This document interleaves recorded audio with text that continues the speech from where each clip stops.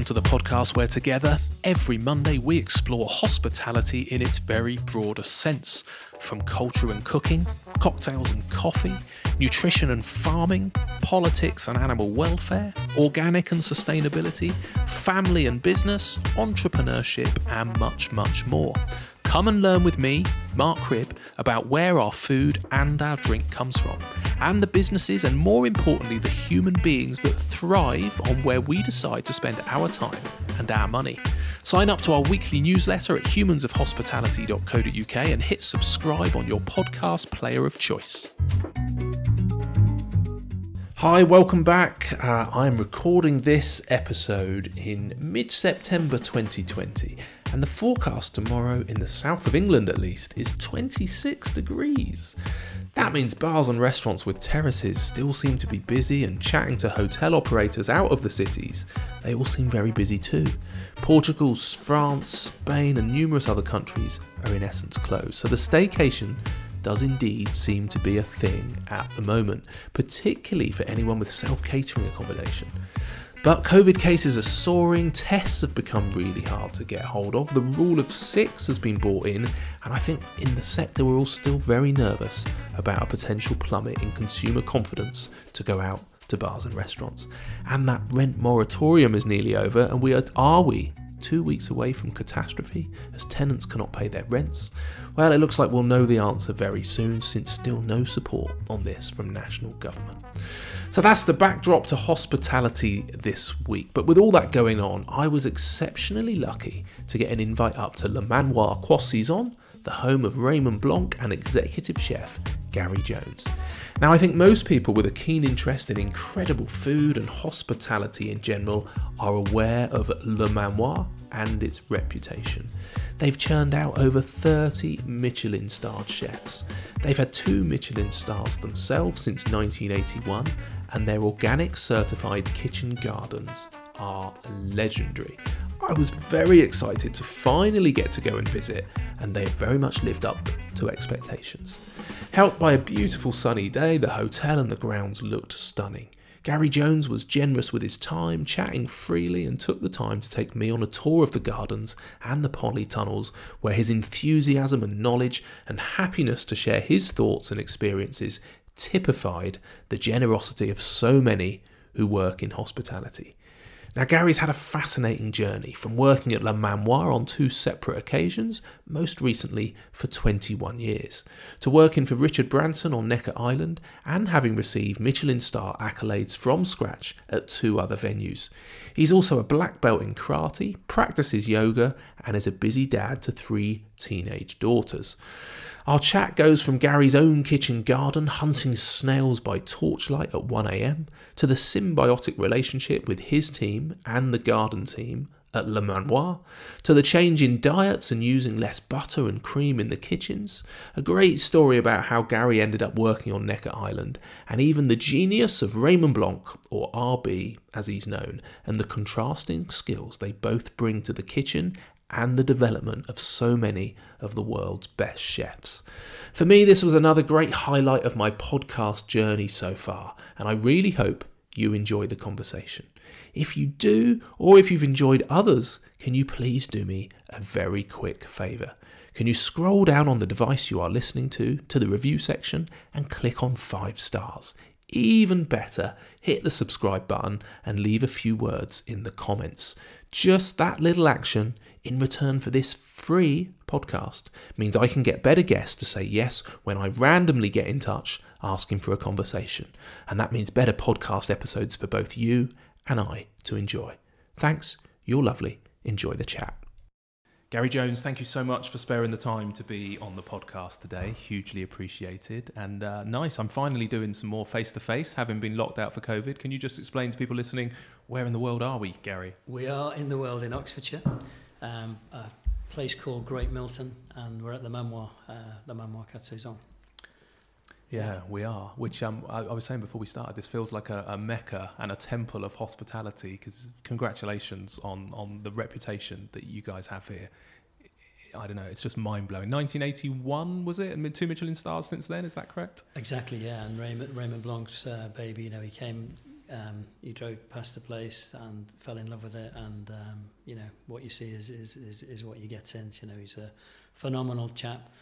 And uh, the first thing he we're sat in the middle of the in the glass house now in the gardens. The first thing he he uh, focused on when he got here was the garden, you know, Really? for obvious reasons. And what was it when he found it all those years ago? Then was it was it like this or It was was he, no, it was a well, it was a private house, Right. um, and um, you know in in disrepair, and um, yeah, he fell in love with the thing, and uh, you know, and it's evolved ever since, which which is lovely, and Yeah. uh, well, it's know, evolved that in, reputation. Yeah, it's evolved in an incredible way. So we are we are sat in uh, in your. I was going to say little greenhouse, but that's uh, compared to my greenhouse, it's about forty times the size, and we are surrounded by produce in every direction, which I guess is, is the reputation you guys have. So we'll start with the garden. You know, just how important is having your own produce to all that you do. Yeah, well, it's the epicenter, and uh, I think um, you know the inspiration comes from the season, from the garden, from the variety, from the flavors, from the taste, and um, you know every week we'll do a walk around with the garden and see what is peaking now. You know, so it should be on the menu, and also what's coming up, so we can plan the, the menu for the week after the the week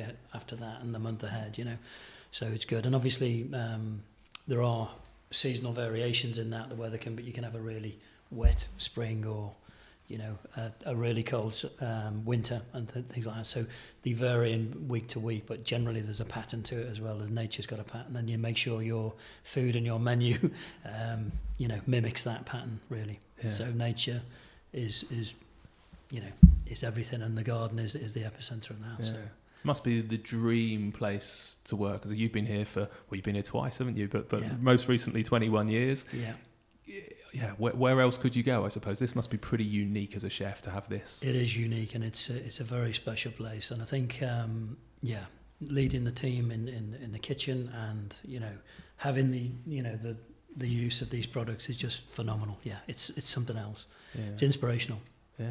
to to walk it and see and, and trying to use every little piece that you possibly can. Um, you know, and if you can't use it all, you're turning it into an oil or you're drying it for a, a little rub or whatever it may be. So yeah. yeah, there's lots lots of inspiration from the garden. And can you use it all? Because it's a big old space, isn't it? How many acres is it? There are there's like um, I think it's eight in total with, the, with the fields. Yeah, because you've got an orchard as well, haven't you? We have indeed, yeah. So Yeah. the, uh, the orchard went in a few years ago, and again, it's um, it's coming on. It's a very young orchard, Right. um, but there's the, you know there's lots of um, apple varieties. But the history of the apple as well in the UK, as well, uh, Raymond has looked into with some experts as well, and um, we've brought back some old varieties, which is great. So varieties that were you know to the county and.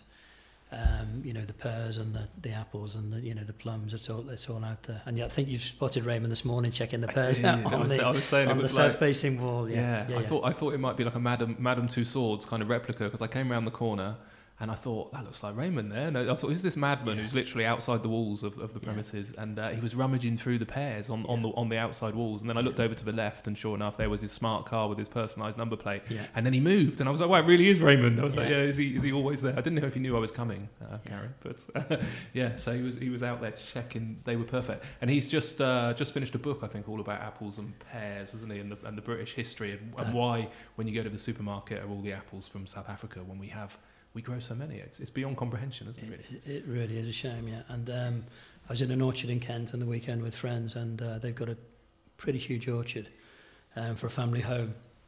And there's so many apples on the trees, but it, it, it's going to cost too much to get the apples off, to get the pickers to take the apples off. So I came back with eight huge bags full, full of apples. Yeah. Um, come back to Raymond and his book. Yeah, he, he'd finished um, a book on Kew and gardens, which was fabulous. Then also he's working on another one as well now, which is cooking um, with speed. You know, because most people don't have uh, that much time, but also with nutrition in mind as well. Right. You know, and health. Yeah. Okay. Interesting. Um, I'm just uh, laughing at the thought of Raymond cooking on speed because he talks so quickly. Anyway, I can't imagine. I can't imagine him giving any. I was trying to follow what he was. Uh, Cooking at speed, at not on speed. speed. Okay, good. I- yeah, good. yeah. Because that would be a dangerous combination in Raymond's world. I think. Having, Without a having doubt. seen him talk a few times. Uh, He doesn't need that. No.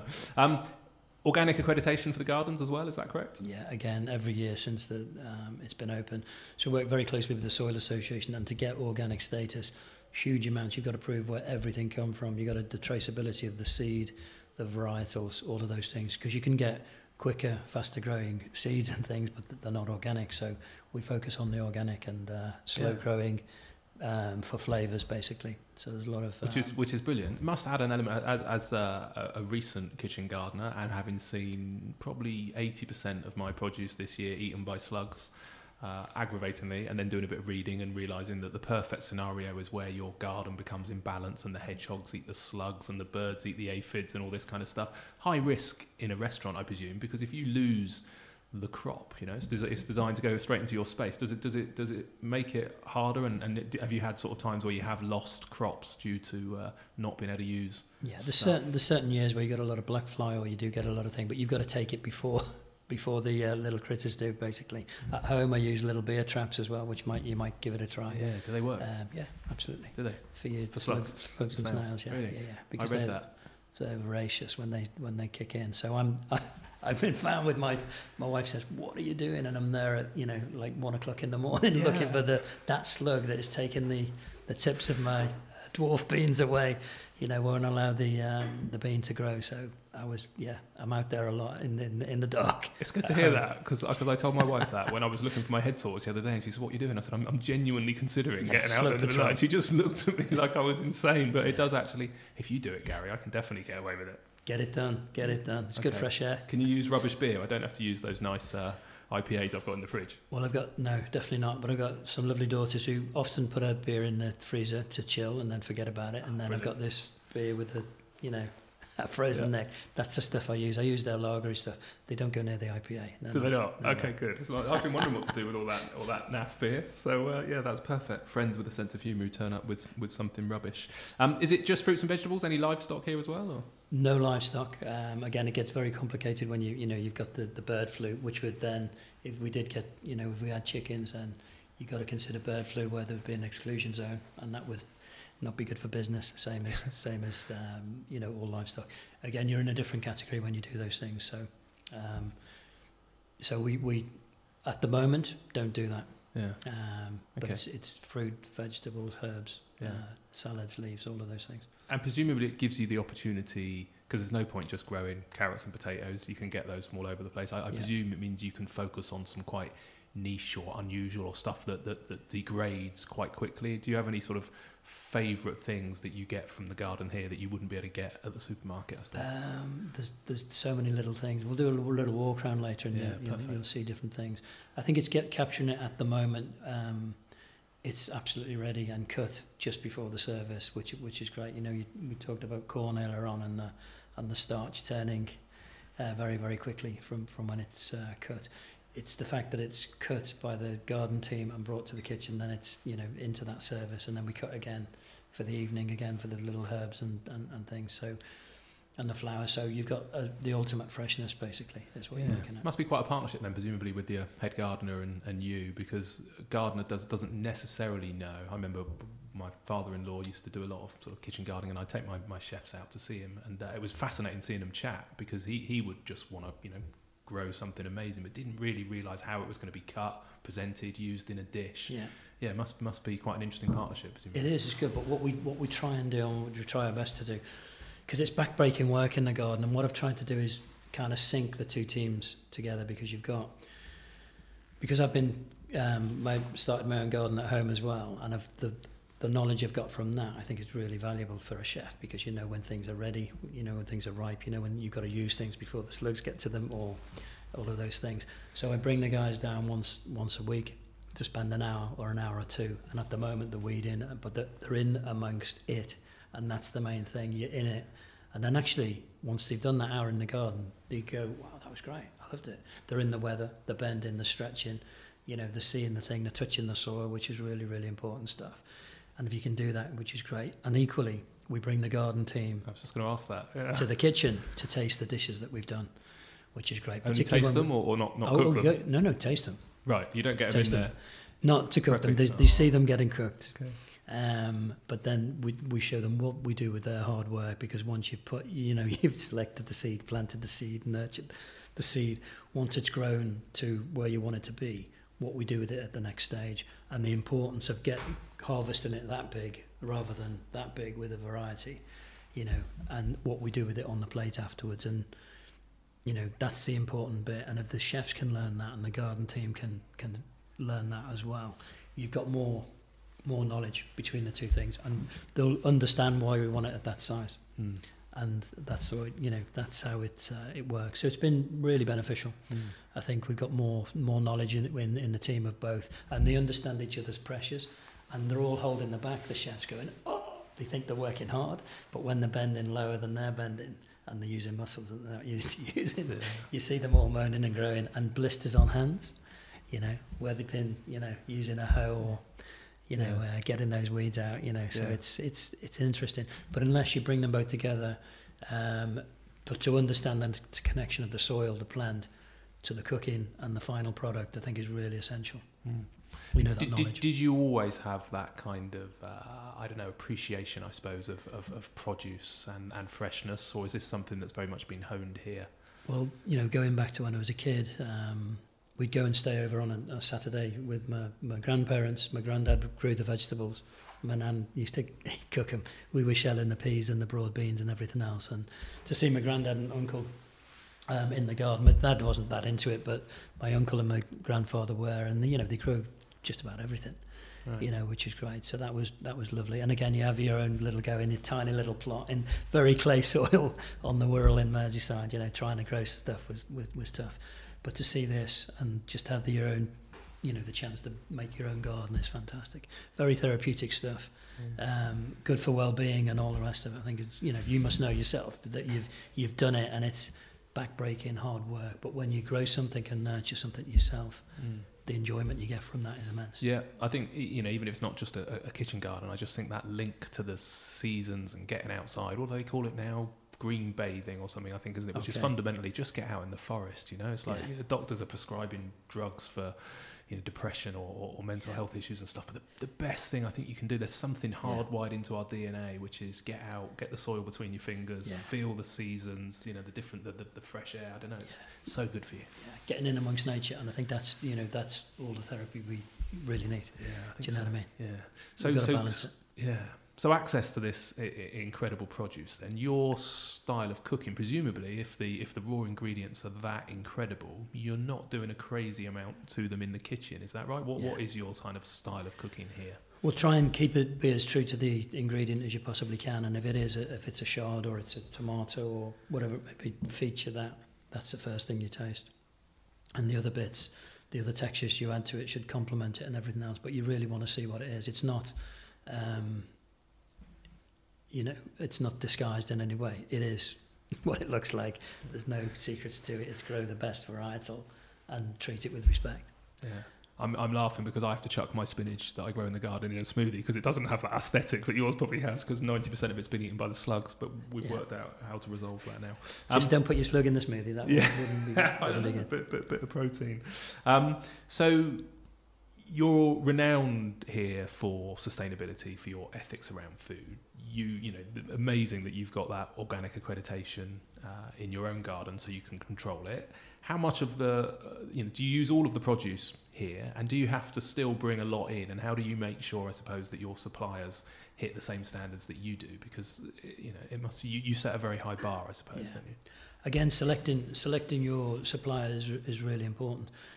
Um, we've had one over over this um, period, COVID period. Um, one of the suppliers is, is no, no longer trading, so I've chosen three or four um, companies that I think um, uh, deserve a shout.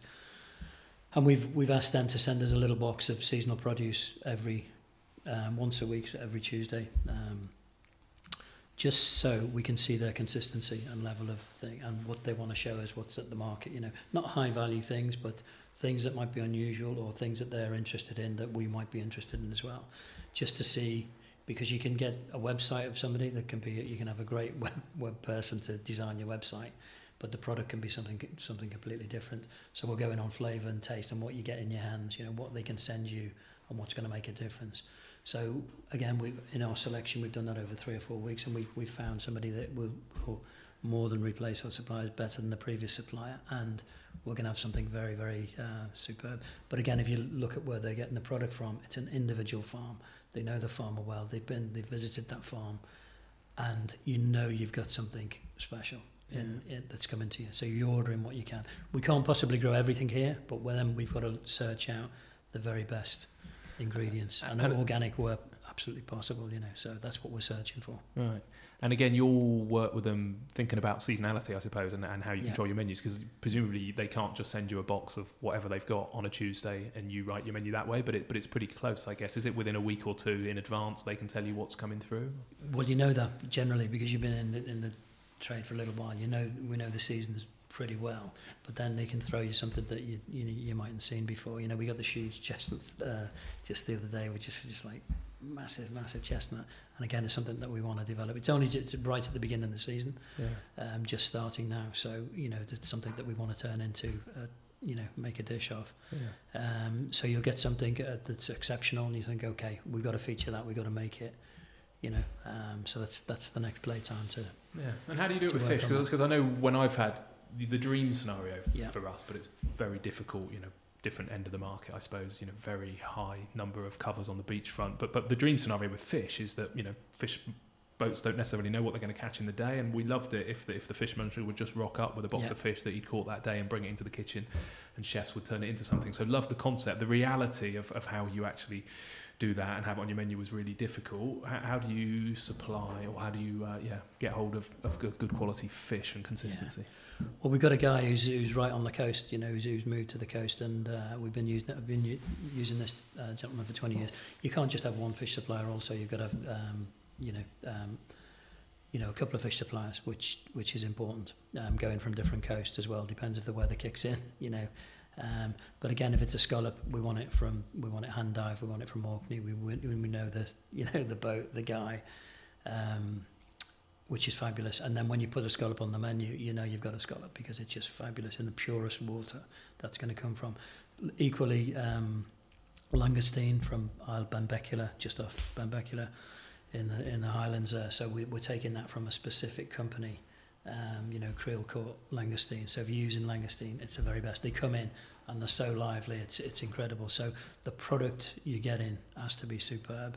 And equally with the the fish, it's all day boat stuff, um, and it arrives, you know, here um, super early. So it's Do you know what you're getting, or is it a case that they'll, we, they'll bring you what no, they've no, caught? we plan for, for the season and, and Right. uh, you know what, what, what we're going to take basically, and we've got to leave. We're, we're quite limited because um, we must only take what's sustainable to take, so it shortens the species, and um, you know guests coming here don't want pilchards either, so it's you've got to be choosing you know um, very good quality fish. But again, it's it's day boat fish as well, so it's kind of uh, low impact Right. um, as much as possible, you know. So that's Yeah. that's what we aim for. So we've got the freshest product we possibly can, um, and it's it's products that are sustainable. Right. Because fish is so complicated, I think, isn't it? Particularly, you know, in the news a lot at the moment with Brexit, I guess, and, and the regulations and, and mm. British wanting to get their fisheries back. But the, you know, the, the, when you get into the details around bycatch and you know you can only catch certain things. If you catch other species accidentally, you're supposed to throw them back in the ocean. The fact that fish move, the fact that at certain times of the year they Yeah. might be in season and have eggs the size of the fish. It's a complicated old process, isn't it? How much of that now is is supplier led, where they just know what your criteria is, or, or do you find that you have to be permanently reminding them of your expectations? No, I've got to, you know, there's the, there's the guy knows our, our criteria. Um, as Mitch will tell you, I'm quite specific on on on, fish, and um, yeah, he kn- he knows the the you know the um, our, our specs basically Right. for, for what we're looking for. Okay. and he'll get it. We we get the the prime of the market really. Basically, we're blessed with that, which is great. But also in terms of the wider issue of uh, fish in the UK, we've got to be eating more fish. You know, you you touched on obesity before when we when we met and the, and the current status. And if you look at um, those things, we're, we're catching this fish and it's all going abroad because there's no market for it. People won't pay for it, and that's that's the thing. So we've got to be able to um, pay for it. And the bycatch again is, is obscene. You know, if you go to Marseille, that is turned into a fun, delicious soup. That you know, that's because that's how that dish was born. What, what we couldn't sell, what was left on the boat, what are we going to do? We're going to make a stew out of it. You know, bouillabaisse is one of the most fabulous things known to man. Um, was born from that. What was left? What can we do with what's left? And that's a great thing as well. So, you know, we do, we do have to change our attitude to fish. Mm. The price will pay for fish, and um, what we do with it, you know, it's it's uh, yeah, it needs rebalancing because we're eating a lot of processed nonsense when we could be eating super fresh fish. It's odd, isn't it? We're an island nation. You know, we're surrounded by the ocean. Yep. We must have, you know, had had eaten shed loads of fish in our history. I Yeah. don't know what changed, and and yeah, how do we end up now eating so much of a processed diet? It's odd, Yeah. isn't it? Do you know the the reasons and how do we fix it? I suppose. I can't tell you, but we've got to. People have to give it a try. I I hear a lot of people say, "I'm not, I'm not keen on. Well, you know, um, you got to give that a try. You got to, you know, you got to. Um, we just got to, you know, take like the mackerel for example. What a mackerel will do, not only is it the, the flavour a fresh mackerel. I'm not talking one that's two days old because that's something else, but a freshly caught mackerel is just absolutely stunning. There's nothing to beat it. But what that will do for your body and your brain and everything else and your energy levels and you know it's got everything your body needs as well in terms of those oils and things. So it's just taking something like that. But at the moment we catch it and we flog it over overseas. Yeah. Do you know what I mean? And that's another thing with uh, you know we we've got to be a little bit more what we catch, what we grow. Do we grow enough? At fifty percent, we only grow fifty percent at this moment in time. So we're reliant on outside when there, sh- there could be more in our fields. Mm. I suspect. Yeah. You know, we need to uh, mobilise that a little bit. I would say. We do, yeah. No, God, it's got to be fixed, and, and hopefully the sort of the, the focus at the moment on on health and childhood obesity, you know, and all this kind of stuff. Fundamentally, it's about you know real food and processed food. I think, isn't it? Most of us can understand that the more food is is, is processed. And this all comes from big food manufacturers being able to put a pretty cardboard box around it and, and patent it or whatever and then sell it for a Yeah. huge premium, whereas you can't. You know, you, don't go into the supermarket and see the amazing virtues of broccoli because it, it, it just comes as a bit of broccoli, isn't it? And nobody shouts about it. So hopefully there'll be a change. The huge growth in the last couple of years, it would seem, about plant-based diets. You know, the recognition of that.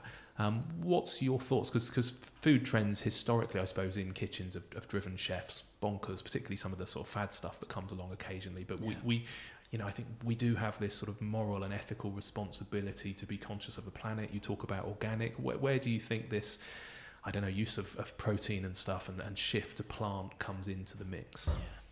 I think it's a really good subject. I think, you know, if you look at the, the shape of the nation, shall we say, in terms of obesity, we definitely need to be eating less protein. Um, we need to be eating more, more fish protein rather than uh, selling it and be prepared to pay for it. Um, that's the other thing. Um, but I think in terms of balance and health, I think in my own diet I've started to, you know, eat more plant-based things. I haven't cut out fish, I haven't cut out meat, I haven't cut out any of those things, but I'm, eat, you know, using less. And in our cooking, also um, in our processes, if you're gonna if you're gonna make a puree, for example, um, do we need all of that butter and all of that cream? Could we use you know the coconut? Could we use the coconut milk? Could we use the almond milk? Those things. So that's what we're playing with at the moment. So you're doing one process which is good for your your regular guest, your vegan guest, and your vegetarian guest, and they come to us. They search us out and come to us because we look after them when they get here. You know, um, it's not always the case in restaurants. Um, but we've got vegan uh, guests coming to us quite quite regularly, and we need to evolve the menu around that as well. So we've we're not changing huge amounts. We're reducing the proteins and increasing the the plant based um, areas as well, which is you Mm. know I think where our diets need to be anyway, which, which is good. I think we need to understand that as chefs. You you look, uh, you know, trim and fit and healthy. I suppose there was a tradition, wasn't it? Was it never, never trust a thin chef at one point, wasn't it? Is that we and, and particularly French cooking was classically lots of butter, lots of Yeah. cream. Um, I suppose with, with with Raymond in particular having that sort of classic French background, is is he on board and sort of recognises that yeah, why why use extra fat and extra sugar if we don't need yeah. to? But al- also, you know, um, way back when, um, when I come from the Roux brothers, uh, originally I trained with the, at the Waterside with uh, Michel. Um, heavy on, on cream and butter, and then you've you've got you know you could see an immense difference in the, the level of. So it's always been there with the with the Manoir and Raymond's philosophy as well, and we're just taking that a little step further by reducing them a tiny bit more and adding other ingredients that are someone's got texture that you don't you know you don't miss. Mm. Um, and that's the thing, not to miss it. It can't feel like a, A compromise. A compromise, and it's got to be really flavoursome, great textures. Um, and if you can do that well, and it tastes delicious, but it's also doing your body good as well. Amazing. That's the main thing. It's how you feel Yeah. after that meal, after that tasting menu. Do you feel stodgy and, and heavy? Um, you know, do you, do you wake up feeling, oh my God, what just happened? Yeah. Or do you feel like on your feet and ready for breakfast? Yeah. That, that's the thing, and that you've got to balance. And I think that's And I think That's- particularly with the with the backdrop behind us of, of the gardens, you know, I changed my diet a couple of years ago, pre- predominantly plant based, and you know, everybody always thinks it's what you've taken away from you. How do you give up that? How do you give up that? And I was like, you know what? It's, it's what I've added to my diet, which has made the difference, not what I've taken away. Yeah. Because you must have, you know, hundreds and hundreds of different species out there of herbs and plants and veggies and stuff. Whereas there's four or five kind of key meats we use on a regular basis, Yeah. albeit they can be cooked in different ways.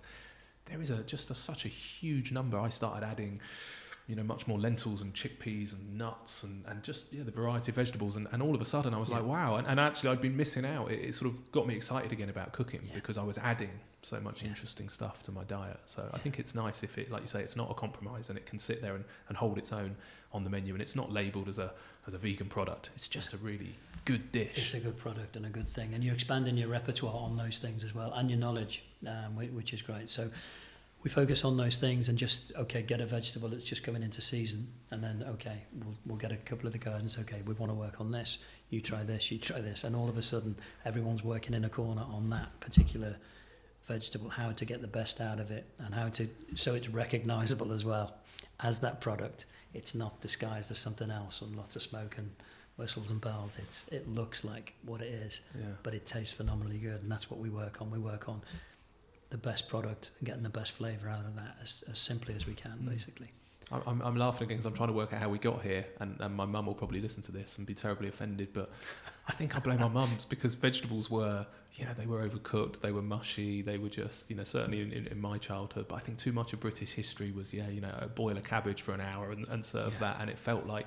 I don't know, it was just that unpleasant bit on the side of the plate. Whereas now, you know, veggies can be the star, Yeah. but maybe we've just got better at, at growing produce. And I suppose probably the supply chains, the fact that you can now get rainbow chard delivered Yeah. or, or you know to your door from your local supermarket in in perfect condition. I suppose you just couldn't do that 20 I years think ago. knowledge has, has, has gained as well, and also, um, you know, the fact that, you know, in the 60s, the Roux brothers came, and in the, in the 70s and 80s, you had these great restaurants coming up, and the guys, the, the top chefs now in England are fantastic. The knowledge level is, is huge, which is great. Um, so there's a lot more, you know, look at the cookbooks that are available now on, on, this, on the subject. There's huge amounts of, of knowledge out there, which is fantastic, which is great. And, Mm. you know, if we can gain a little bit more of that and uh, get everyone to the right shape, it would be good. Be, be helpful, wouldn't it? Yeah. Yeah. Sym- sympathise with the government with all they've got on their plate. Excuse the pun, but very much hope that uh, yeah, health and nutrition becomes part Yeah. of the part of the conversation. But I think it also starts in schools and, and, and getting kids involved, you Mm. know, um, which I've done with my family, but also the Royal Academy of Culinary Arts do something called Chefs Adopt a School. Yep. And I was very pleased to get on board with this because I think it's really important that the kids. So, you know, I went to my local um, primary school, which was fabulous, in Chalgrove. I bet they and, couldn't uh, believe when you rocked up, could they? Not not everybody No, gets you to but I adopt a looked- school. First of all, we're in we're in a, an area. You know, I grew up in, in Merseyside, but we're in an area that is, um, you know, quite a wealthy area.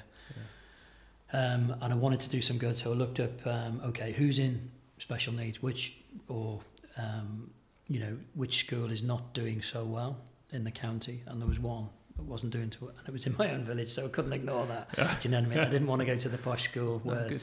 The parental guidance might be might be Would be great. I wanted to go somewhere where um, um, where I could make a difference, and that was on the agenda. And when I went and introduced myself, um, fantastic lady said absolutely. So we put in raised beds.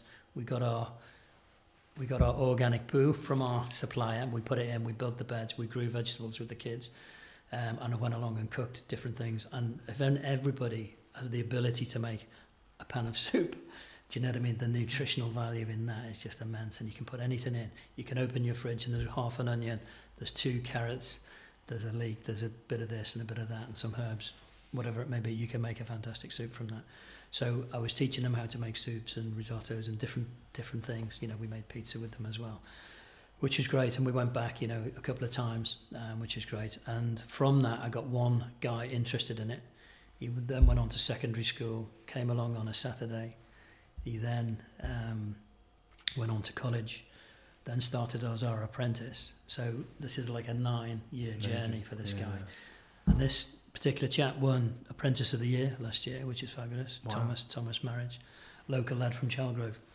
And again, if you can do that in the community, in the community you're in, it's really quite nice as well. So it was good to go to the school and see these kids, but the enthusiasm this one had, so it was worth that just to be able to take this young lad and find what he wanted to do. Because again, you wanted to be a chef, boom, and this spurred him on, Yeah. and now he's in there. Have you had breakfast at the Manoir today?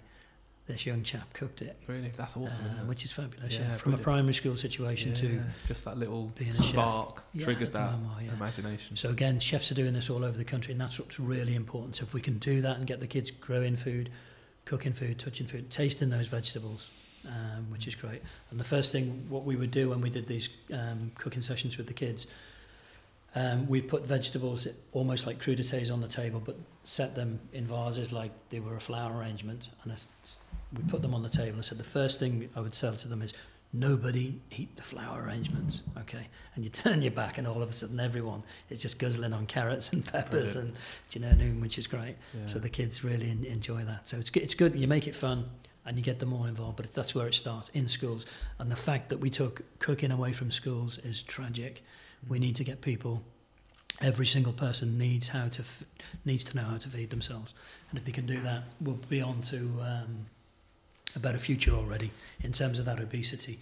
Everyone's opening packets to eat when you can just, you know, cook from you know peeling a vegetable and and you know lentils, nuts, yeah. you know, fish, you know, simple, simple things. Doesn't have to be expensive. Just cooking a, an egg well, yeah. you know, you can feed yourself, yeah. making soup, all of those things. And I think if the kids can, we can get back to that in our schools, we'll see a lot less hassle in our hospitals later on. Do you know what I mean? Which I is, uh, agree, 100%. Yeah. It's. Whole Foods at the end of the day. My wife's a primary school teacher. She's, Okay, she's just gone back full time. And uh, yeah, Yeah. funny enough, we've been chatting about exactly that, getting a little sort of garden area outside her classroom and, and growing a few bits. But Yeah. uh, so important. I think a lot of us recognise it. It's just how do we how do we yeah make it happen on a national level? But we could probably spend two hours talking about that, Gary. So we'll do a, absolutely. we'll do a special on it. Um, so your history is, is is phenomenal. Like I say, we'll we'll touch on some of the chefs that have come through and, and how you do that. But you, you you followed a fairly traditional approach into hospitality, and the fact that you went to catering school for a couple of years. Yeah. When did you know? Did did you know? I suppose before you went to catering school that you wanted to be a chef. Yeah. Yeah. What, what was the trigger? When did you know? Trigger was my mum was a good cook, and um, I saw the reaction when she put good food on the table. How everyone went, "Wow, this is fantastic," and it would change everyone's mood um, in a good way. Um, and it was just good to see the, those reactions. What you could do with food can make everybody, you know, you know, enjoy it. And when people got around a table, and you put good food down, you know, it's a fantastic thing. Mm. So you would see from this age this thing happening and thinking, wow, this is great. But the enjoyment you got from the from good food, which is great. And that was you think, okay, let's look at this. Let's uh, you know.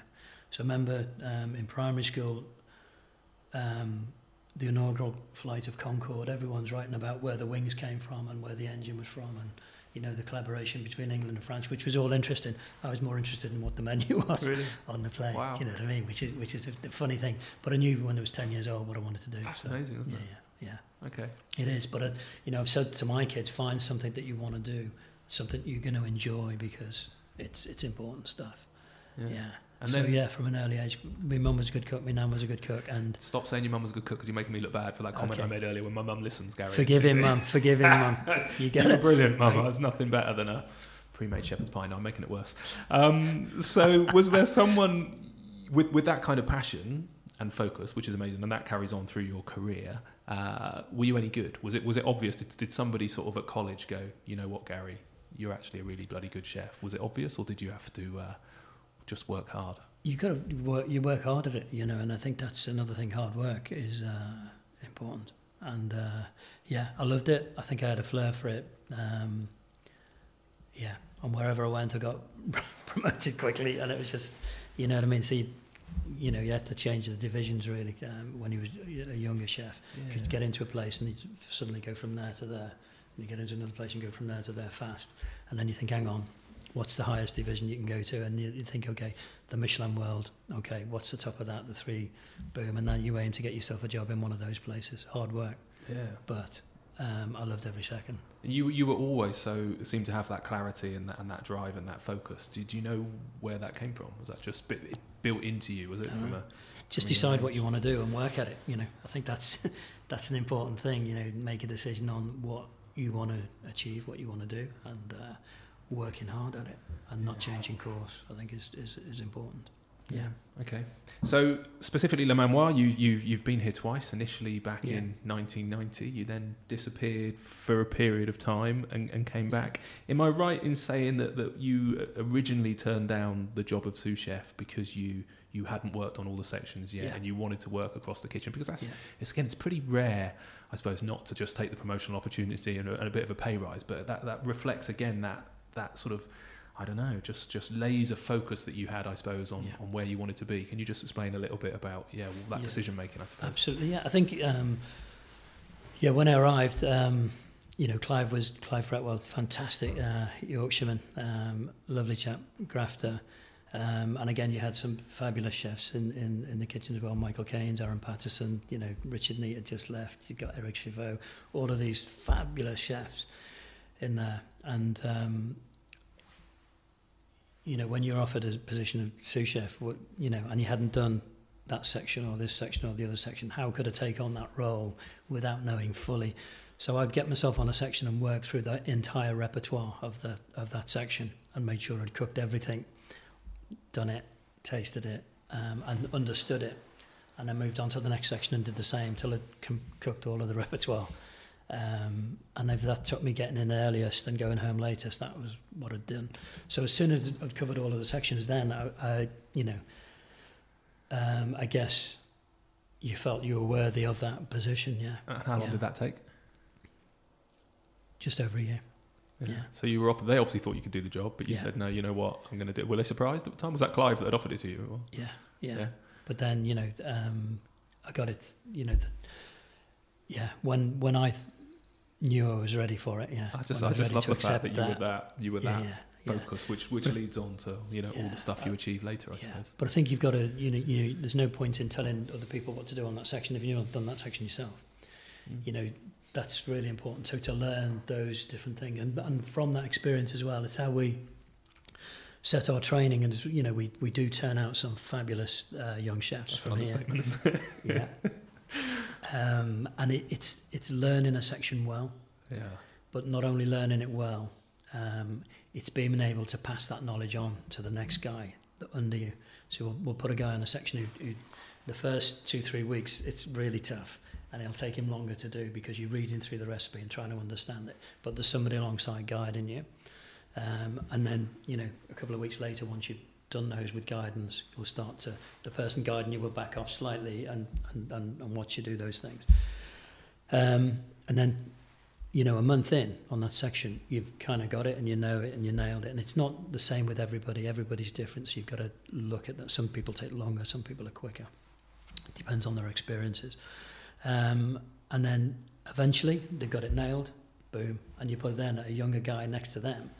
And what's the, the important thing is you know what they've understood by when you're listening to them train and coach the next person underneath them Yeah. and that's a good thing. And the guys that are good at the training and the coaching to the guy alongside, the weaker guy that needs to be strengthened, Mm. that's when you see the knowledge of that guy and that guy. And I think you learn through so much, don't you, Yeah. through teaching? Yeah, and the potential of that person then to become, go on to be a chef de partie and a sous chef and eventually a head chef of their own, you know. So we work on those. We work on um, achieving a certain level on a, on a section and then moving to the next thing, nailing that, moving on to the next thing. So you're building layers of experience, s- solid, strong foundations in learning. I think that's really key to to making sure that the the go out solid citizens. And as you mentioned, um, we've got one or two of those who've it, uh, did I Passed read through the doors. 18 Michelin starred chefs that I'd say a come from more here? than that. We're 30 odd. We're thir- 30, 30 odd, yeah. Really? 30 odd. That's in the low, in the early 30s of. of uh, maybe it was 18 since you've been here.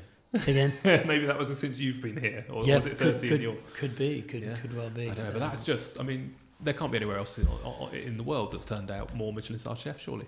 Um, I don't know. I don't know. All I can tell you is about here, and there's a 30 odd um, just young men that have come along, worked with us, and, and gone on to earn Michelin stars of their own, which was which is fabulous, which is really good. So those guys that are interested in that need to, you know, eventually pass through the doors. You know, I think that's that's important. Yeah. And I think to do that and to turn the kitchen round, you need about two to three years of, of, of being here. You know, Yeah. you can't do it in a year. Your It's- training course is two and a half years, I think, isn't it? What, what do you, what level do you take them at and to in that time period? Well, I think you know um, there's no set time because you can't. It's it's hard to get um, the generation to commit to two or, two or three years. You've got to make sure that you're nurturing them and looking after them so they stay two or three years, even five years. Some of them, you know, and beyond. Um, so yeah, that is a training program of you know, but it does take about two and a half years to get round all of the sections and well and do it well, and then you end up being a chef tournant, which is like you could then go and help the younger guys with less experience on those supportive role, which is also good to see those guys that are supportive. Um, and their approach with the with the other guys in the kitchen, which is good, which is more important now than ever before. In the rest of the industry for the last few years, there's been a real sort of shortage of chefs, I suppose, and it's been quite hard to recruit into the sector. I'd like to think with the credentials that you guys have got that there's sort of 100 people turning up every morning, you know, queuing, queuing out the door to get into the kitchen. How's, how's it been? Do you have a big waiting list of people who want to come and join you? We've we've we've got the you know sufficient amount of chefs at this minute in time. You know, could could we do with some more? You know, nobody's going to say no. Um, so yeah, industry wise, it's it's it's been hard to get people Yeah. into the industry ac- across the board. You know, and talking to colleagues, um, they're finding the same the same thing. Um, but you know, it it's the you know kitchens have been tough historically, and you see certain things on television, you think, oh my gosh, is that what they work in? But you know, we're the opposite of that. You know, Yeah. we we try and have a, a calmer, cooler, more uh, patient approach with with learning, uh, should we say? So um, You Yeah. seem very calm and, and zen. Admittedly, we are sat in a, in a garden, which must help. Yeah. Have you always been that way in the kitchen, or did you go through that angry stage? No. There's going to be a few chefs listening to us yeah. laughing, going, no, he wasn't. no, he, he definitely wasn't. And um, you know, lots of things have helped me over the years. Obviously, uh, becoming a parent, which, which was one. Um, I did some martial arts, which was which was good for me as well. And yeah, because there was, you know, when I grew up in the uh, in the in the eighties in kitchens, it was it was you Different- know completely different culture. a completely different culture. So you've got to learn from that and what not to do, and take it from there because we've all made mistakes. And I think it's important that uh, you learn from those things. Yeah, so I've done a little bit of um, martial arts and now do yoga and stuff to you know Yeah. complete that yen, uh, Zen thing, if you if you will. But again, you can't go around screaming and shouting. And if I raise my voice, the guys know they've been they would have been told three or four times previously uh, how it should be done or how it should be. I've also shown them a couple of times as well before I'd raise my voice, but it's very rare. These days, it's very rare. Okay, that's good. What was the motivation to get into martial arts, by the way? How, how long ago was that? Um, I did it for a six-year period, and it was about four or five years ago. Um, Wow. I, I got a black belt. Yeah, Did you? which which was great. Of course you did. Did course you, you did. decided that before you started, probably didn't you? I did, yeah. I that was that was the target. That was the, that was the aim.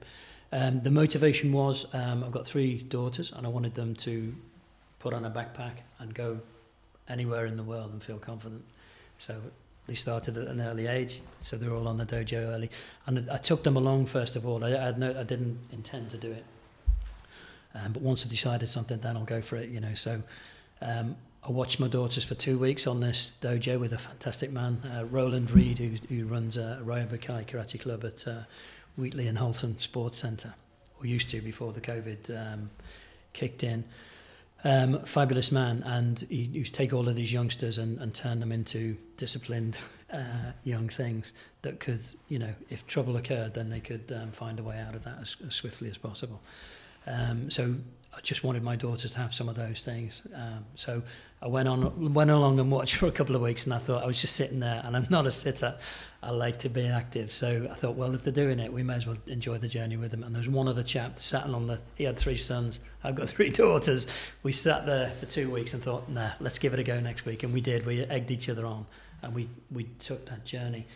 You know, white belt, yellow belt, uh, you know, all the way up to up to the black and the gradings and everything else. Took six, six years of Sundays, three or four sessions on a Sunday, Wow. um, and one in midweek. Really? You know, to, to to get that, which was good. But what I loved about it, and I can, you know, the you reach a certain like the kitchen. There's the commis level. There's the demi chef. There's the chef de partie. There's the senior chef de partie. There's the junior sous chef. The sous, and that's what the belts were like for me. So you go into the room knowing nothing, and then you learn the basics. You step up one, you learn a bit more, and then you those constant steps of guidance, and obviously perfecting what you're doing basically, and then you turn out boom, you achieve something, which is good. So I love that part of it, yeah, which, the which structure and the clarity. Did the Yeah. kids go up in the same way with you? The kids got to um, my eldest got to brown belt with a, a, a, a tag, which was good. It got rid. That's when it gets tough, and uh, you know she she didn't want to continue because she got to a certain age as well. She was like 16 when she thought, you know, do I need this? Yeah. You know what I mean? And and boys became more important. But she's going to be all right if she's backpacking through Thailand. She Oh, can, she'll be she can handle herself. She'll be fine. That She'll must be be fine. nice. You can relax. Yeah, and the middle one, uh, Charlie, who's who's a chef, also here. She's on the uh, combi chef in Oh, the wow. kitchen as well. Um, or she has been for the last three or four years. Um, she got to her green belt. Okay. Do you know what I mean? Which is good. So Do they look at you and go, Dad, you have to take it too far? Why did you have to go and get a black belt? You just of, they're Yeah. used to it. There's not going to stop. there's, there's nothing going to stop me getting that. But it was good. It was a really good um, journey. Have you know? Yeah, I think the good thing with martial arts, is so good for your head as well, isn't it? It's Yeah, not just exactly, body, it's just really good But mind. in terms of you know, you mentioned um, angry chefs. Mm. You know what I mean? You you know, you put yourself up against some of these guys, and you you, you don't need to be angry. You just need to be, um, you know, discipline Mm. with yourself and everyone around you. You know what I mean? Treat everybody with respect, and I think that's uh, where we go in the kitchen as well. So you can bring some elements of that to the kitchen as well. And again, it's quite a physical thing, and um, you know, but it was really really good. But these days, I'm doing a bit more yoga. I'm doing hot So- yoga. so did, do you not do the karate anymore? I do for myself. I do my Right. own katas in my uh, a little conversion I've done in my Okay. my garage. Basically, I've got my kick bag and everything else. So I do that for myself, but I don't go to class anymore. Yeah. Um, Okay. But you got to, but I didn't want to go. You know, I will do more when when time allows. yeah. When time allows, but I've put it to one side. I'm focusing on yoga, Yoga. now. You going to be a yoga instructor? Or how, how do you take yoga? I don't know. Can you get a black belt in yoga? I don't think so. Do Um, you have to grow long hair? I'm just trying to think how they accredit how they accredit you with knowing. I don't think it, I don't think, yoga do. I think that's just years of practice. I think it's years of practice. But uh, again, to stay flexible, I'm working with a, a bunch of 20 year olds. I'm 55 years old.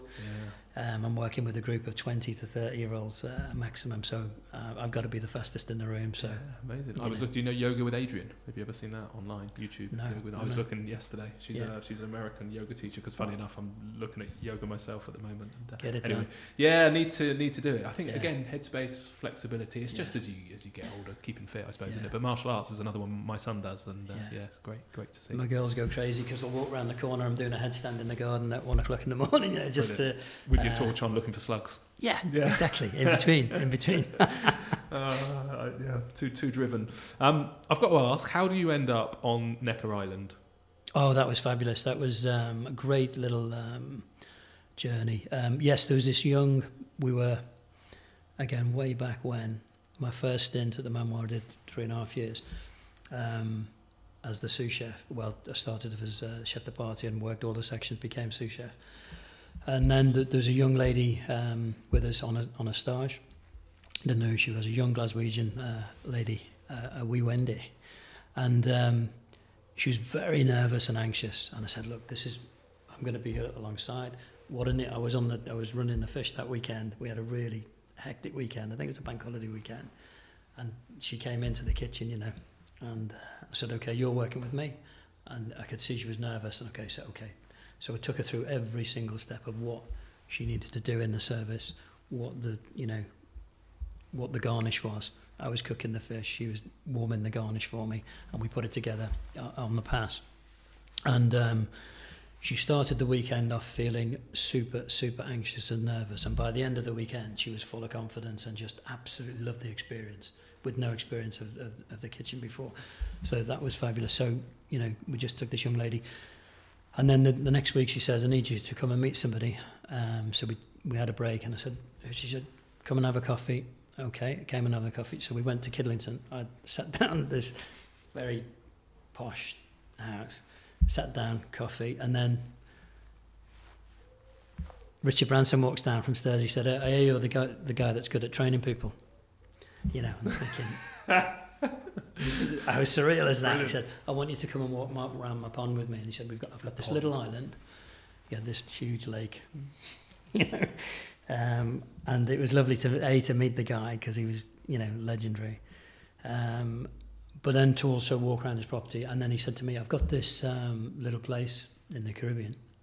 Um, There's a videotape at the time, you know, the old style videotape. Have a look at that, and that will tell you where, where I'm talking about because this will explain more. Um, but we'd like you to come along and train the team over there to cook great food for our guests who were superstars at the time. It was a recording studio. It was built as a recording studio.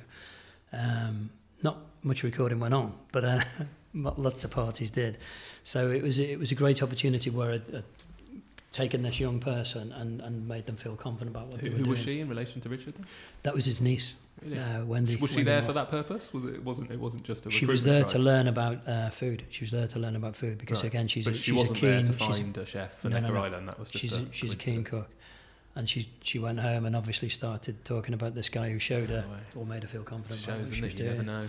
which was great. Yeah, you don't know, and that's that's the thing. And what's lovely is to get letters, you know, years on. You know, when people reach a certain level, we got one yesterday where the guy's a managing director now, and he said he always draws upon the experience he had when he was in the kitchen. Amazing.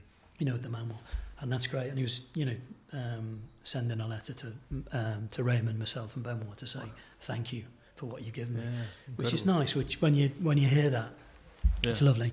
So that's how the Necker journey began, and So it was it was a long were you great one. Um, The, the video was obviously pretty good, by the way. Presumably, lots of bikini it was a soundtrack. Bryan Ferry, slave, slave to love, as these helicopter shots over this Oh, island, Yeah. turquoise blue, Brilliant. and I'd How long did it uh, take you to decide that you were going to take that job? about 35 seconds. But also, I had, and I had to let, um, um, I was going to go to Eugénie de Bains in southwest France uh, to work with Michel Guérard. That was already lined up. Okay. And then Not this bad came. plan so, B. Yeah. I said, do I want to work for the third Frenchman or do I want to go and do something different? And I did. And I popped over there for a couple of years, which was fabulous, which was really, Amazing. really good. Yeah. Amazing time, um, amazing memories. And when you leave a place with a tear in your eye and you're thinking, I've really enjoyed this, Mm. you know, that's a good thing. We've been back and holidayed since, and Have I'm you? quite hooked on the Yeah. Caribbean. It's a, it's a great awesome, place. Nice kitchen on Necker Island. Did you get to, to, to design it, or was it already in place? Well, it was a, it was messy when I got there, um, but Richard said, you know, what do, what, do you need? And uh, he made it happen, which is great. So we got the we got the kitchen we needed. We dropped in a, a, a big walk-in ice box in the hill, and and where you go from there. Could you know. see the sea from the kitchen? Absolutely. I could see the whole horizon. There was nothing on the horizon from the kitchen side of the, the island, which was fabulous. On the other side, you could see, um, you know, um, Tortola from a distance, uh, Virgin Gorda. Um, beautiful place. If you've not been to the British Virgin Islands, you need to go. Yeah, no, super, no, super, to, super to place. Barbados and some of the Caribbean, but, Yeah. but never been there. So, uh, okay, yeah, nice, nice little spot. You can see the um, the ocean from my kitchen or my restaurant on the beach, and I always say to the chefs, "You don't know how lucky you are. You can actually Yeah. see the sea." They don't necessarily believe me because there's also about 100 customers between them and the ocean, and, Yeah. uh, and then Well, in Oxfordshire, that's important because you know we can't see the sea here, of course. you You, can't I mean? see the sea. No, Yeah. you've, you've got the, uh, the the garden equivalent, I suppose. Absolutely. So, um, what was the trigger then to, to leave and come back to the UK? Well, I wanted to find uh, find a place that um, wanted a Michelin star. I, I wanted to get a Michelin star. I think to get recognition for what you do in your work is important. So uh, I set about looking for that. And at the time, there was nowhere. But somebody came to why I left Necker was somebody came and headhunted me. Said, "We believe you. You can cook on an island, which is it can be quite difficult as well because there's the, the island fever thing." So I ended up opening a, um, a resort for Sonu Shivdasani in the Maldives, which was great. Um, you know, so we, we, you know, as the opening consultant for that, while I was waiting for a position in the UK, somebody want, wanted a, a, a chef to earn them a Michelin star, really. Yeah. So So, so what do you need to make that? You knew you wanted a Michelin star, but you knew to do that, you you couldn't just go off and do it on your own. Presumably, you, you Yeah. wanted to find somebody that had a kitchen, a restaurant, and presumably some some money, I suppose, because you've Yeah. got a. It's, it's going to cost you a few quid to have that level of dedication, is it? What What were you looking for? yeah, I just needed to know. I, I needed was I was I capable? Could I earn that? Could I earn that accolade? You know, and and and, and um, you know, become a, a chef. You know, and that's the that Yeah. was the drive for it. so it. who did you partner up with them? I partnered up with the Fenton family at the Homewood Park, and uh, you know I, met, I remember the um, the son and the the um, the restaurant manager um, interviewing me, which was good, and the, and then the owner walked in, um, who was a fabulous chap, and he asked me one question: Can you get us a Michelin star? And I said, Yes, I can. You know what I mean? Boom. Was there any doubt in your mind that you could? No, Really? No. And then for people who don't understand the complexities of it, what, what do you you know how long did it take, and, and what sort of things do you need to do to make that a reality? Well, it's about consistency really in, in the food and reaching a certain level of quality in the ingredients you use and all of those things. So, um, um, yeah, it's just making sure you've got the best possible ingredients. Is why Mitch Tonks is my fishmonger, and uh, that's how we met. Which was a, which is a, I know you've interviewed Mitch, Yeah. fabulous man. Um, so yeah, it's about the ingredients you use and the, and the quality and the flavors and, the, and and what you do with the plate, basically. With Okay. uh, So how long did it take? 18 months. We had four rosettes and a Michelin star in 18 months with two boys from college Wow. and a washer upper on a Saturday. How many hours a week were you working? Um, don't go there.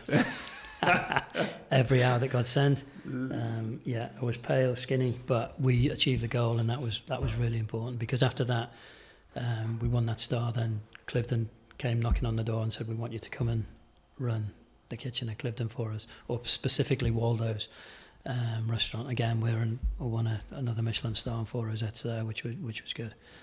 Um, so it was um, yeah, it's great, and that's when Raymond came to dinner. Yeah, I was going to say. So how do you end up back here? Yeah, and and and Raymond said, "You you're absolutely ready. I want you to come back and run the kitchen." So I didn't have to think twice, Really? like I did in the sous chef role. Was already had I had a Michelin star in a couple of different restaurants. Yeah, so that was the qualification. But you were still nervous about having the responsibility, you know, to come and run the Manoir kitchen because it's an institution. It's an Mm. absolutely huge thing, you know. And when Raymond's asking you that, you're thinking, you know, Yeah. Go for that. So, you, so, so 21 years ago, do you remember how it felt then walking back into that kitchen? yeah, I was with- with what nervous. I was nervous. Yeah. Yeah. Yeah, I was absolutely nervous, and I'm thinking, you know, because the pressure I put on myself is more pressure than you could ever, you know, find, you know, in any job. The pressure I put on myself to achieve that would, you know, would be because you can't just come here and, um, you know, it's it's got to be evolving as well. So it's, uh, but it's a great place, and I think Raymond is um, phenomenal character, and again, it's a massive opportunity. So to be given the the um, responsibility to run it was huge. But yeah, one I grabbed and uh, I've, I've enjoyed. Yeah. You know. So it already had had to, two, two Michelin stars since Two Michelin stars, 1981. yeah, Is that yeah, right? I just find that Yeah, insane. That that must feel like a phenomenal amount of pressure Yeah. because it's it's yours to screw up at that point, isn't it? It's not like you're starting from scratch and going to get one. It's kind of like Yeah. you've got one, two. Don't don't don't lose it. yeah. Does that has that pressure eased off over time, or do you do you guys still feel that on a, on a No, daily the, pre- basis? the pressure doesn't ease off. The pressure is constantly there, Yeah. um, and it, it's it's important that you keep evolving with that. You know, it's, it's that's the important bit that you keep evolving it. because it is an evolving thing as well, isn't yeah. it? The, the expectations, the criteria, customer expectations have Exactly changed. You look back in the 80s, you Yeah. know, what the customer expected then is so different to now. The facilities that you've got, how do you make sure, you know, that you're going to have it for another 40 years, I suppose, isn't it? On a day-to-day basis, well, you know, what is it? What is it that the Manoir's got that, that gives it that level of consistency? I think it's just making sure that you're um, true to the season, the product, and making sure that um, the cooking techniques are very, very good. You know, on a on a consistent basis, um, and evolving the next thing as well. You know, you got it like I talked about the the vegetable uh, work in that thing until you've got it the best it can possibly be, the best that you're capable of, and then making sure everyone else can do that on a day-to-day basis and constantly checking every last thing, every last recipe. Every recipe we produce is tested by myself or my, my sous chef um, before it goes in the fridge. That's the important bit. So I've got an initial on it. I know who made it. I know who checked it. Wow. Um, and then it goes in the fridge. So if there's a problem with it, we can trace it back and say, okay, um, I've tasted this. It's slightly under seasoned, or it's slightly over seasoned, or it needs more acidity, it needs more texture, whatever it is. So then it's it's open and transparent that we, we wouldn't cook it that long next time because, or we would add this because, or we'd adjust the recipe as well. You know, um, so constantly adjusting recipes and, and evolving recipes as well. And how many chefs are in your brigade? Um, we've gone from 42 to 26 with the COVID Wow, situation. really? Yeah, yeah. Because you've reduced covers as well. We've reduced covers as well. So, so you've got, is it just the one restaurant here, or you? Because obviously the hotel, so you're doing. yeah, we've got one restaurant. Yeah. Right, how many Yeah. covers? What was it, Um, and is it? It was 80, well, it was 100, Right. then we took it down to 80. Mm. Um, and now with the COVID situation, we're, we're 50 covers maximum. Yeah. 50, wow.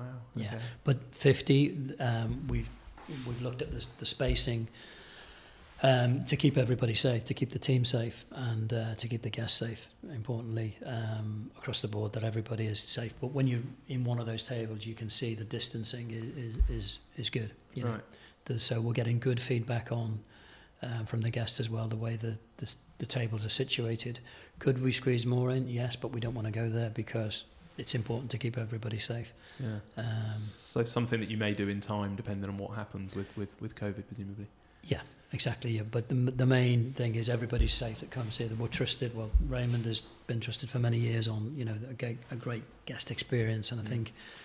Um, yeah, we've got to make sure that continues. Mm. We've got to make sure the, that prof- the professionalism is, is, is exceptional, even in just organising this interview. And the fact, you know, I got sent a, a questionnaire to fill in before I came. I was told when I got here that I needed to wear a mask, that my temperature would be checked, that who would meet me, and Yeah. you think, okay, yeah, yeah, there's that's a reason. important. You know, people need to know that you know, we, even before they get booked, they know they can have the, the temperature taken. It's not a probe in your face. It's a it's a it's a machine that, Yeah, yeah, yeah. that you walk by. Yeah, it wasn't And a rectal you, examination or anything. It was quite, it was quite an easy process. I Yeah, did just have to look exactly. at. look But that's important for confidence for for your guests, for confidence for your team to come to work and to to come out. Um, that's important. Yeah.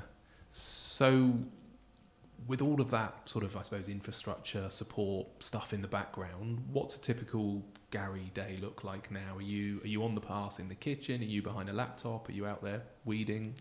What does it look like? A little bit of everything, really. Um, yes, I'll arrive at uh, nine in the morning and meet with my, um, you know, my admin team, and then they'll tell me what's going on. Like today, yeah. So there's somebody in the this. greenhouse waiting for you. yeah, I'll be in the inter- interview in the greenhouse, um, which is very rare. Um, but normally it would be in. Um, now, our, our working week is slightly different now. So Monday, Tuesday, Wednesday, we decided to um, to keep our hours down of the team to make sure nobody's working too many hours. We closed Monday, Tuesday, Wednesday lunch. This is something that the team have loved. The accountants don't particularly like that, but the the the team love that. And again, it's finding that balance, which is great. So Thursday, Friday, Saturday, Sunday, are lunch and dinner, breakfast, lunch, dinner.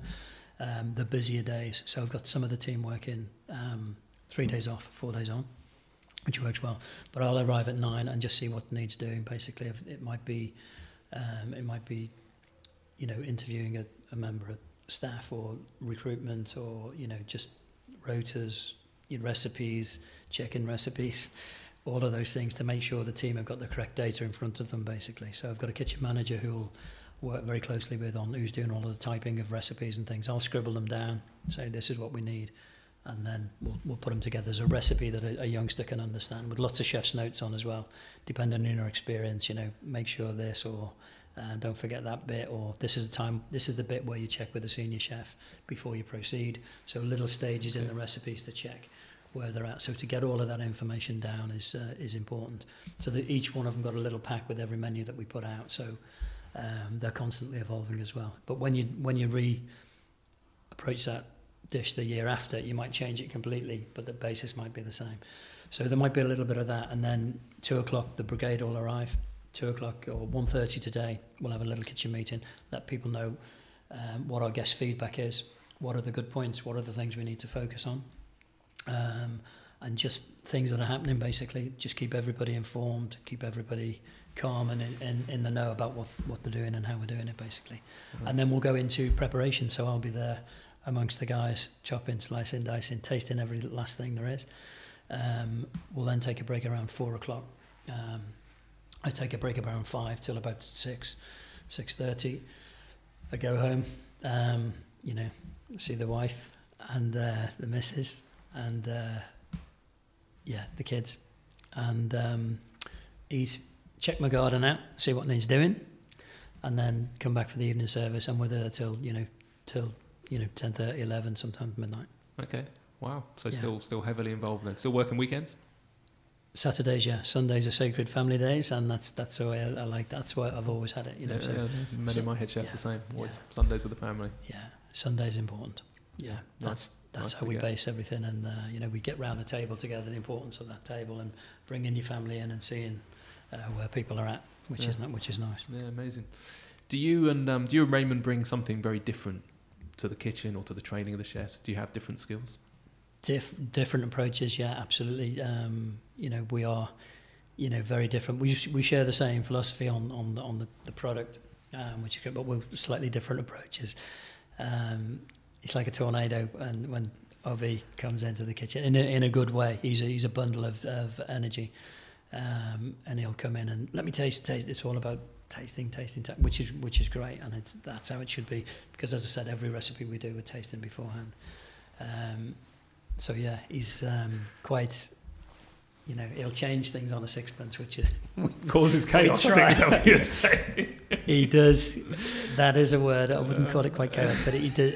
Yeah, it, it can get interesting, but in, in a lovely way as well. Yeah. You know, we are quite blessed. If you look at the garden that he's created here, look at the you know the the, the building of the Manoir and what it represents, and then you produce a dish, and then to have him come and taste it and say maybe try it with this or that or just adjust this or it's a fabulous. Do you know what I mean? And for the young guys when they um, and and myself, when you've got a genius like that and a, a culinary genius on on your side. Um, it's great because of the guidance he gives now, which is great. So he's more he's more in a guiding role now of the dishes, which which is fabulous. But he tastes every last thing. He wants to taste every dish that we create, and um, he helps us evolve them from there. You know, which is- which is fantastic. Mm. But we are we are slightly different approaches. I like to set things in stone. This is the way we're going to do it, and he'll come Yeah. along and no, let's go this. it You know what I mean? From the heart. Yeah, I exactly. can imagine. yeah. I can imagine the carnage that causes just before service. Yeah, but you know that that should never change. He should never absolutely. change that because he is the DNA. Yeah. He's the actual uh, epicenter of the place, which Yeah. is which is great. It- it- Which is why we've got all of this. You know, um, we've grown all of these chefs over the years. You And know, you used the word genius, which is interesting. So, d- does he notice stuff? Has he got a sort of palate where he'll observe stuff and, and point it out to you? And because you, know, with your experience, you'd Yeah. like to. And it made me laugh just now when you said sort of customer feedback and things you need to work on. And I think you'd have to be a pretty brave customer to come and tell you and Raymond there was a few little tweaks that you'd like being made to the dishes. But um, yeah, does it does he notice things where you'll go, oh my god, yeah, actually, yeah, he's he's right. he does. He's got a phenomenal palate, and that's that's what's lovely about it. So you, when you think it's good and you, you put it up, if you can get it past RB, you know it's bloody good. Do you know what I mean? And that's the thing. So all of the dishes we taste together, uh, which is great. And I also involve the junior team in that as well. How can we make this better? And that's what it's about. It's about being better tomorrow than you are today. Mm. And I think um, he guides us with that and helps us with that. But he is a, a phenomenal force and good fun as well. He's he's uh, he's playful. He's uh, he's good fun and he's energetic and he's he's all of those things. Yeah, Yeah. I'll have to say I've seen him talk a couple of times. One I think was on the sustainability of fish, and I love it. I don't think it must be a, a nightmare to organise him to come and do a talk because I, I can't. I lost count of how many tangents he went off on, but the tangents were the best bit because he he completely lost himself half the time, Yeah. but was so. You know the passion that he spoke with, and, and, and, the belief from his heart, Yeah. and, and as he was getting more and more excited, and uh, yeah, I can't. Uh, he was definitely way off topic, but you just think, yeah, what an amazing amount of, of energy and belief to have. You can see Yeah. how he how he how he drives. No, it, he's an inspiration. So to so many generations of chefs. Yeah, Yeah. Okay. So just to sort of you know bring things to a close a little bit to talk about the future. Really um, toughest time probably for hospitality you know ever. Certainly in our living memories. I Yeah. appreciate the country's been through wars and stuff, so Yeah. presumably that would have been a tough time for, for going out in, into restaurants, but really difficult. What's your thoughts on on what we've been through and how do you see? things panning out i suppose hard to know but over the next sort of 12 18 months you must have spent some time thinking about it not not just for le manoir but just for hospitality in general and what's happening out there Yeah, I think it's going to be it's going to be really tough, and I think if there's, you know, I'm hoping a second wave doesn't happen, but you know, it, it, it's on the rise, and uh, there's obviously everyone is cautious. So I think, um, yeah, we've just got to make sure that um, we're making good decisions, um, how we're acting, reacting, and, and, and making keeping your customers safe. I think is the, is the main thing. And if people have got confidence in your business, then you you will still have customers, but it will affect a huge amount of people, particularly when the, um, you know, later on in the year when the, the government support stops for the you know the furloughed, um, and if there is a second wave, you're going to see some redundancies, and, and some places will fold. It's inevitable. There's there's no um, there's no question of that. Um, but again, were there too many places in the beginning? Are there too many spots uh, to go to? With a shortage of chefs and lots and lots and lots of restaurants, you know, maybe that will, um, you know, naturally rebalance the, the status quo. Um, again, we've had a shortage of chefs, you know, across the country. There's always um, places for chefs. So maybe if there's less, a couple of less restaurants, maybe we can focus a little bit more on, on those that uh, get through that. But I think if you're a, a young chef, you've got to get into a, place with the best possible training you can find and someone that's going to support you through your learning to get to where you're going, basically, which is, which is a good thing. And solid foundations I think, are key to anything. So I think if, um, yeah, get into a, a, good a good place and, and that looks after you as Mm. well. What do you think on the because I, I agree with that sentiment that you know there was an oversupply in the market. I think that the, the VCs had come along and backed this kind of incredible growth, I suppose, of, of what you know arguably were either very successful places or, or were just a bit beige in it, and, and, and sort of boards of directors ended up rolling out places. Any thoughts on is is it going to be your kind of you know your, your smaller your your independents I suppose the the passionate that get through it or, or realistically is it going to be the guys with with loads of shareholders stood behind the hospitality who, who, who can keep it afloat for a couple of years what's your thoughts on where Yeah. the industry ends up I suppose I don't think the top and the bottom will be affected. It's the middle guys and the small little independents that will be um, hit. But if the good small independents, this is where again people need to go and support those. You know, the help out to eat out thing is one thing, but I think when that you know passes, are we going out to support those great little restaurants? Are we going out to support those those guys? Um, and those guys also have to, you know, do it in a, in a, in a safe way. And it's, this is one thing that's starting. We, but we got to think about it for the future as well. I think you'll see a surge in um, good quality takeaway food as well because you've got some fantastic restaurants with real a lot of skill. And if we are stopped from letting people into our restaurants, I think the um, you know the takeaway market will will come up, particularly on plant based. I think that'll be a, a big thing as well. Plant based takeaway style food, which again will hopefully keep. Every, but again, you've got something home cooked as opposed to mass processed. Um, because again, in a pandemic, we've got to be careful what we eat if we're less active. You know, you've got to be watching all of those things. So good, healthy takeaway food, I think, would be would be uh, something that some restaurants will focus on to get through the pandemic, and those that are good at that will then keep the coffers ticking over to be able to open their restaurants when when the coast is clear. You know, Mm. so they'll be the stronger guys. Those that can adapt um, will get through this. are Yeah. we going to see Le Manoir on the back of a delivery bike anytime soon Um, not at this moment in time, and I, and I hope I hope not. I mean, it'd be a shame not to share this because if you look around, it's a shame not for people to, get, yeah to come out. But I don't I don't rule it out. I don't rule it out. The thing is, you've got to you got to make sure your team are busy and, and, and things are ticking over uh, financially as well in, in a good way. But again, if you can produce something that people are, are looking for, that's that's Yeah, and, important. and a lot of people, even at the, I mean, I, mean, I, I, I that it's not not your niche in your area, albeit you know you've seen the likes of Hawksmoor, Adam Handling. I don't know, no, Mitch hasn't done it yet, actually, has he? But you know, there's a lot of people focusing on that sort of home delivery of either ingredients or, Yeah. or chef boxes, isn't there? So there is Yeah. a, I would personally love it if there was a little uh, Gary and Raymond box that, that came through the door, but Yeah. no plans at the minute to. But yeah, with, with these businesses as well, you've got you've got highly trained teams, you've got cold rooms, you've got um, you know, and you also got to look after your supplier as well.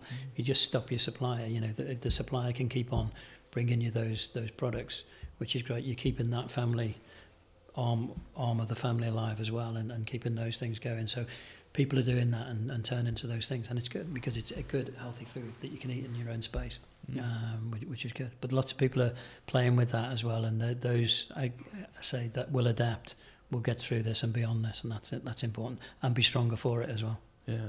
Okay. Uh, on a personal level, then black belt in karate, now Yeah. becoming you know a yoga uh, centric person. what, what what how do you continue? You know, here for 21 years. Anything on the horizon that keeps you motivated, and, and what's your next kind of uh, ambition, I suppose, or, or target? Um, we we're looking at um, you know developing the Manoir um, further. You know, possible spa. We're looking at those things at the moment, but again, it's in the distance. I'd rather talk about things that have happened rather than things that are planned. Um, so yeah, that's that's that would be the next uh, thing, evolving the Manoir. Um, Yeah. Well, you've got plenty of toys and plenty of space and plenty of stuff to do here, haven't you? Absolutely. key thing, thank you so much for sparing the time. You know, genuine, uh, real pleasure and, and privilege to uh, to get to come and meet you. Uh, congratulations! It, it just blows my mind what, what you guys have achieved here and, and how many chefs you've pumped out. A thank you on behalf of everybody who enjoys food out there, who gets to go and eat in, in 30 other Michelin starred restaurants as a result of what you do. Um, where should people go if they want to follow you personally or, or Le Manoir? Is there a particular social channel or best place to go? Um, well, the Manoir website is good. Raymond's website is, is fantastic. I've got a tiny little. I don't do an awful lot on social. You know, Gary jo- uh, Chef Gary Jones one, I think it is on on uh, Insta. A little bit is mainly from my garden. Not not an awful lot on there because I don't have much time to do it. But there's a, a little bit on there. Twitter same. Um, yeah, I don't have any website or anything like that, but if you need me, I'm, getting, I'm I'll be in the kitchen. Perfect. Okay, great, amazing. All right, well, we're going to go and have a little wander around your garden with a bit of luck. Great. But thank you, uh, Gary. Really appreciate your time. Pleasure. Pleasure. Cheers. Take care. So there you have it, another awesome conversation with a true gentleman and legend of hospitality. My whole experience at Le Manoir was exemplary, apart from the fact they were shut for lunch on my visit. But the petit fours that I had with my coffee were delicious. What Raymond has created, particularly in the gardens at Le Manoir, has to be seen to be believed. My tour with Gary after we recorded the episode was fantastic, and I'll put some photos up on my Patreon page so you can see what I'm talking about. Just head to humansofhospitality.co.uk and click on the Donate Now button to be taken to the Patreon page where you will find my post and behind the scenes shots. Whilst you are there, feel free to make a donation to keep this podcast on the air if you can. Also, on the website, you'll find links through to Gary's Twitter and Instagram pages and a few links to Le Manoir as well. Thanks again for listening. Please don't forget to leave a review, and I'll be back next Monday with a new conversation. Thanks.